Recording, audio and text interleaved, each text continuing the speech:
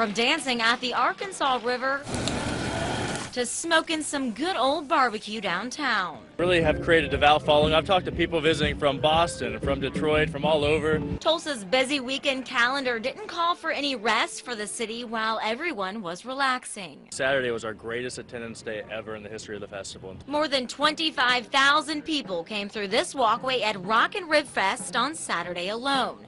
So if each of those 25,000 spent only $20 the entire day, that equals a profit of $42,000 in sales tax revenue for Tulsa. Festival has a domino effect. It's not just the people spending money out here on beer. It's people spending money on parking, hotel rooms. Like Mike and Murphy Elliott, they filled up their tank in Texas and drove up for the Oklahoma Scottish Festival. I came up last year for the first time and, and enjoyed it. These are very uh, well set up games. And with a steady pace of kilts, the festival's attendance is at 7,000 at the same rate of $20. That equals nearly 12,000 for Tulsa sales tax funds. They look to bring more staff in and make sure that they have plenty of, of stock.